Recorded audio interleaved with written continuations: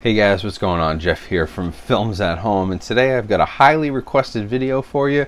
We're going to do the top 10 4K Blu-rays of 2020 so far.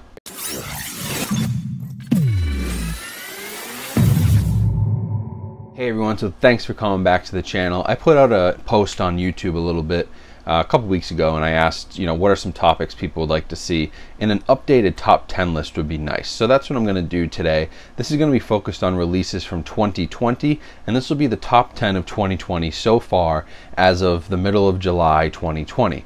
I'll also be doing a video like this at the end of the year, but I wanted to do a mid-year recap. First, because this year's been really strange, but second, because there's going to be a lot of competition for the end of the year top 10 list, considering how good this list is already in July. So I will rank these. I'll be going down from 10 to number one, number one being the best. I'll talk a little bit about each one, but all of these I've pretty much, I believe I've covered every single release that I'm about to talk about on my channel at one point or another. So there are full reviews if you want to see those. Check out the 4K review playlist on my channel. So I'll be brief about each one, but I'll rank them 10 to 1, one being the best, and give you a real uh, order rather than what I usually do, which is kind of pick 10.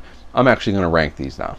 So jumping right into it, I wanted to give an honorable mention to one title, which I didn't put in the top 10 because it's a little bit obscure, it's a little bit pricey, it's just out of most people's really like what their usual purchases. Um, but I did want to give a shout out to Blue Underground in their 4K release of Zombie. This is one of the nicest transfers out there. Movie's not for everybody. It's kind of cult, cheesy 70s zombie movie, but it is Dolby Vision, it's Dolby Atmos. It is one of the best 4K transfers that I've seen, especially for the horror genre. So props to Blue Underground, and I should also give them props for their Maniac 4K release. These are both excellent. So I wanted to throw them in as honorable mentions before we jump to number 10. Now for number 10 on the list, I'm going with Blues Brothers. Now this is the 4K Blu-ray uh, Steelbook from Best Buy. It's the Best Buy exclusive. Love the artwork on this.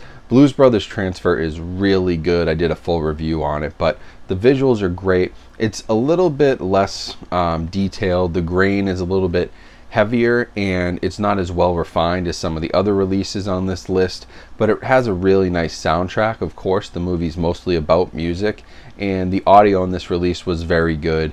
Visuals were nice. It's a good effort by Universal, um, but it's definitely not one of their best of the year, as you'll see as I go through this pile.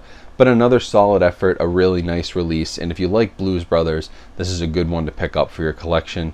Overall, a very good 4K disc. Now, for number nine, I'm going with a movie that is, it doesn't really fit with the rest of this list because everything else that's on this list is actually a true 4K transfer. And this one's a 2K upscale, but it made the list for one reason. And that is Midway from Lionsgate. Uh, this, again, is a Best Buy exclusive 4K steelbook, has a nice little slip to it. Um, but the reason this made the list, the visuals are great, but they're great on the Blu-ray too because it's a 2K digitally shot upscale. The reason this made the list at number 9 is because the audio is as good as any of the releases on here. The Atmos track on this just is incredible. It's crazy. It has all the height effects that you'd want, all that object based surround. Stuff is flying around your room. And if you have an Atmos setup, this is the demo disc in my opinion right now is midway one of the best out there godzilla king of the monsters is another really good one.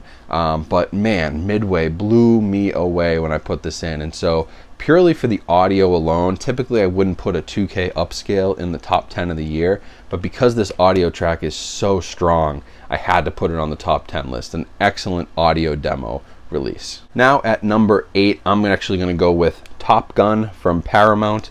I chose this one over the other two Tom Cruise movies, Days of Thunder and War of the Worlds, because I thought this was the best transfer. The HDR, especially, is what sold me on this. The 4K restoration was nice. You definitely get some more detail over the Blu ray, but the HDR color grading was where I was really sold on Top Gun. I thought the colors popped so much better than they did on the previous Blu ray, and this also has awesome audio so anytime you can combine great video with awesome audio you're going to make a top 10 list this has another atmos track where those height effects are in full full force because of obviously the subject matter and planes and everything else And, uh, you know, it's a classic movie. It's a very well done 4K transfer from Paramount.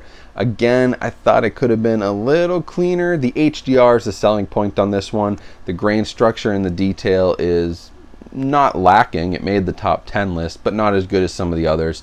But a really nice release. If you like Top Gun, again, this is a great one to pick up. It's the best it's ever looked. Now at number seven, we're going to have our first from the Columbia Classics, and it's going to be A League of Their Own. Now, I could have probably put a bunch of Columbia Classics titles in here, but I actually only chose two. And I chose A League of Their Own over Gandhi, Doctor Strangelove, Mr. Smith Goes to Washington. Uh, I chose it over a lot of the other choices I could have put in this spot. Some of the other titles that I was thinking about for this slot, their Blu-rays were so good that A League of Their Own just took a leap over them. And the Atmos track's great. Again, HDR color grading on this really popped. That's what I like the most, how bright and vibrant it is. And that uptick in resolution, I didn't love the previous Blu-ray. I thought it was okay, I thought it was decent, but this 4K transfer that uh, Sony did for the Columbia Classic set really does put this title in a league of their own. And it's a great release. So uh, I do recommend the entire set. That's the only way to get this title right now is to buy the Columbia Classic set, unfortunately. So you can't get these individually, but if you do buy the set, this is one to look out for. I thought this was like the hidden gem of that Columbia Classic set. Now coming in at number six, I'm going to go with Spartacus. This is the Best Buy 4K Steelbook, and I actually just reviewed this a few days ago. It literally just came out. Actually hasn't been released. Doesn't release till later in July as of me making this video. But the transfer on this was awesome. Now the transfer again was done back in 2015, so it's a few years old, but I really enjoyed how this looked. This is the type of epic movie that when you have a 4K projector or a really big 4K OLED TV and you get want to get that full immersion and 4K experience, this is the type of thing that I really liked. Now the reason it comes in at number 6 is because there are simply some titles in this list as you'll see that just blew it away in my opinion or have larger upgrades over previous Blu-ray editions. But Spartacus is a very nice entry. Universal did a great job on the transfer Again, you can go read my full review if you want more on it, but I do highly recommend this, and it comes in at number six on this list. Now at number five, we're actually going to go with my only Disney title on this list, and surprisingly enough, it's not a transfer that Disney oversaw. This is Star Wars A New Hope, Episode 4. When I posted this last time, everyone said it's not called A New Hope, it's just called Star Wars. It's Star Wars, not A New Hope or Episode 4. Listen, right now, it's Episode 4, it's Star Wars A New Hope. Regardless of what it used to be called, this is what it's called now. So that's what I call it. It's A New Hope, Star Wars Episode 4. This release makes it in the number 5 spot because of all the Star Wars releases that I reviewed, I thought this was the best. Now, there was a lot of debate when I posted this, but the truth is that Fox, the Fox restoration team worked on this because they had the rights to A New Hope. So Fox and Lucasfilm worked together, where on the rest of them, Disney and Lucasfilm worked together. And I think there's something to be said about that. The Fox team, I believe, did better restorations and still does as a part of Disney than the Disney team does. A lot more care was taken on this piece. HDR was better. It was a more faithful representation, I thought, than the other movies in the series and of the original Star Wars movies, which are the only ones that I'd really upgrade to 4K. I didn't go for the prequels, and I do have the Disney sequel trilogy.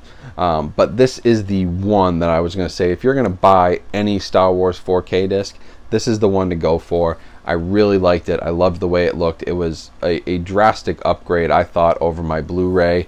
And Fox and the Lucasfilm team did a better job on this than Disney and Lucasfilm did together. So props to them. This was my favorite of the Star Wars set.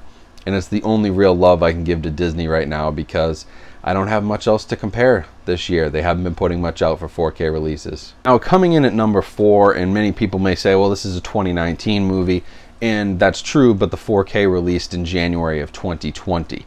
And this is Gemini Man.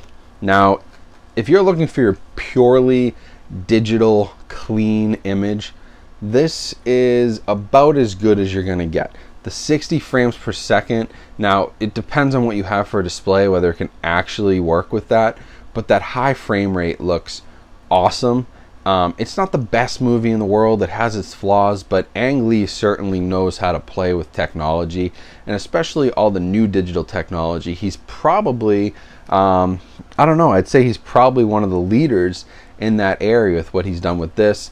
Billy Lynn's Halftime Walk, uh, Life of Pi.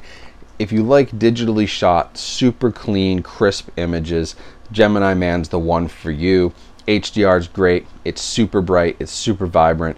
Also has a great audio track, but the real selling point here is that high frame rate and amazing, stunningly clear 4K picture, and that's why it ends up at number four on my list of top 10 of the year. Now at number three, this may come as a surprise to some people if you've been watching the channel for a while. You probably thought this was going to be my number one, but it comes in at number three, and that is Jaws. A what? I know Jaws is my favorite movie, but this this goes to show you that I, I put some real thought into this list because I could have just put Jaws number one and said, well, it's my favorite and it's a good transfer. But I thought there were a couple transfers that were better. Jaws is incredible. Best it's ever looked. Awesome HDR. The restoration that was done on this was actually done back in 2010. So the restoration's a few years old, but this is the first time we're seeing it on 4K disc in its full glory and 4K resolution. And it is really nice. I mean, if I watched this on a projector and I've seen a 35 millimeter print of Jaws and I think this was a better experience watching it at home than watching a 35 millimeter print. It was an awesome experience and the box set is really cool. This little digipack with a little booklet. Um, it basically kind of takes the stuff that was from the Digibook release, which previously came out, and just puts it in a different format. That's how you get the booklet and stuff but I love the lenticular cover, and there's also a very cool Best Buy exclusive 4K steelbook, which I also picked up. But Jaws is great. Jaws is an awesome 4K release. This is one of those must-haves for anybody's collection, but it doesn't top my list. It comes in at number three because these next two were such powerhouses. Coming in at number two, and this was another title which was released in 2019 but came to 4K in early 2020. So we're talking about 4K releases that hit shelves in 2020 and it's Joker. Joker, I think, is the finest example. Gemini Man is close, but Joker is the finest example of a modern film on 4K. It is so sharp and so clean and detailed. It's a true 4K scan. The audio is great, but the visuals on this, there's a reason why I use this disc when I go to do a lot of um, just like initial comparisons. If I do a TV or a projector review, like I reviewed the Vava Ultra Short Throw, I used Joker as a reference point because it is just a beautifully shot movie and the 4K disc is so crisp and so clean. Warner Brothers and their team knocked it out of the park with this one. I loved seeing this in theaters in a 4K presentation and I believe I saw it in like one of those Dolby Cinema theaters. This is going way back almost you know, eight, ten months ago. But watching this at home again in 4K gives you that experience. I think it's just as good an experience as you get in a Dolby Vision type of theater, like some of the AMC's or Regal cinemas have these high-end theater, uh, movie theaters within their locations. That's that's how good this is. And so it comes in at number two because it just it blew me away at release. It's still I said at the time this might be my favorite 4K, and if it wasn't for this last one, this still would be my favorite 4K disc that's been released. Period. It's a great example of what the format can do for even modern films which don't need a huge restoration. This is a great example of that. And so number one, I bet a lot of you are trying to think, what's going to be number one right now? And this choice for me was pretty easy because this release to me is what 4K is all about. It's an older movie, it's an epic, it's a classic. And we took this, I shouldn't say we, because I didn't do a damn thing, but Sony took this release and they blew me away. When you compare this to even some of the others on this top 10 list, it puts some of them to shame. And that is Lawrence of Arabia. This is right now the crown jewel of 4K. This is the best 4K has to offer. Now, unfortunately, it's only available in that Columbia Classics box set. So if you want it, you have to buy the box set or you got to find somebody who's like willing to sell you just this. good luck. You may be able to find one on eBay who's breaking up their set and only keeping a few. But this is the reason to buy the Columbia set, and I really hope that they make this a standalone release because it appears uh, that the Columbia Classic set is selling out in some places. Maybe they're restocking, but there's only 8,000 units. This is the type of movie I think if you put it out there in 4K, when the PlayStation 5 and the new Xbox come out and they can all play 4K discs, this is the one. This is the crown jewel that people are going to drive to go get. It's an awesome, amazing, incredible 4K transfer. The HDR color grading on this blows anything else out of the water when it comes to these older movies. Even Jaws sort of has to hang its head to this one a little bit because Sony killed it. It is crystal clear. It looks like a pristine film print. It sounds amazing with the Dolby Atmos track everything about it just screams quality and it is the best release of the 4K format period. This is the best that 4K has had since its inception back in 2016 this is as good as it gets and it's definitely the best of the year so far. I would be hard pressed to find another movie in 2020 that's going to beat Lawrence of Arabia. I'd be shocked if one did. I have a feeling at the end of the year, we'll still be talking about this disc as number one. It's really that good. So thanks for watching, guys. That is the top 10 list of 2020 so far for the 4K format. Now, it is only July, so if you're watching this video in the future, I am going to update at the end of 2020 with more titles. We obviously have some things coming out like um, we have Home Alone and Hocus Pocus coming from Disney. We have uh, the Psycho and Hitchcock collection where there could be some gems there. Pay attention for Psycho to be a sleeper to maybe knock off Lawrence of Arabia because the black and white picture that could convince me. And there's a lot of cool stuff that could still be announced and released, like Back to the Future. We're hoping to see that soon. Maybe Indiana Jones gets announced. We're hoping to see Lord of the Rings and the Hobbit movies. There's a lot that could happen before the end of the year. So I'll redo this list at the end of 2020, but this is a nice little update for you for this year so far. If you're shopping around on Amazon or eBay or in your local store, these are the ones to look out for. I highly recommend these. They're great demo discs to show off your system. Most of them are great movies as well. And if you have the audio set up to take advantage of Atmos or 7.1, you know, really high bit rate, great audio tracks, this is a good setup for you. This is a good place to start. So I appreciate you all watching. Make sure you subscribe, comment, and like this video. Let's try to get this video to 2,000 likes. I think that's a fair goal, and that means a lot of people will see this 4K uh, review and 4K update and hopefully go out and invest in some 4K movies and grow the hobby. So like the video and make sure you follow me on Instagram. I'll leave links to all of these to purchase on Amazon. Of course, the Columbia set will only be available as the set, so I can't put individual releases, but I'll leave Amazon links for each of these down below if you purchase through Amazon and help support my channel, which I greatly appreciate. And if you check out other links down in my description, there's other ways to help support my channel as well. So I appreciate all of that.